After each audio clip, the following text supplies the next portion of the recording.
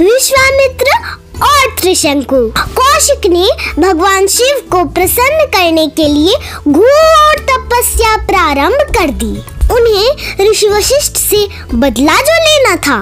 उन्होंने कई शक्तिशाली अस्त्र तपस्या के द्वारा प्राप्त किए और पुनः वशिष्ठ को चुनौती दी। पर इस बार भी उनकी हार हुई। क्रोध में उन्होंने क्षत्रिय धर्म का परित्याग कर ब्रह्मर्षि बनने का निश्चय किया और अधिक तपस्या करने पर उन्हें राजर्षि की उपाधि मिली। वह अभी भी असंतुष्ट थे और लिए अपनी तपस्या जारी रखी।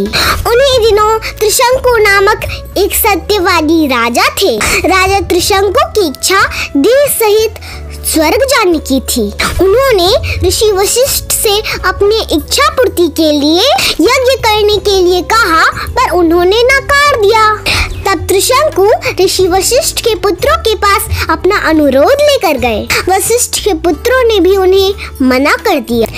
तत्पश्चात त्रिशंकु कौशिक से मिले। कौशिक ने अपने शक्ति के आधार पर त्रिशंकु के लिए एक नया स्वर्ग बनाया किंतु ऐसा करने में उनकी तप की शक्ति समाप्त हो गई।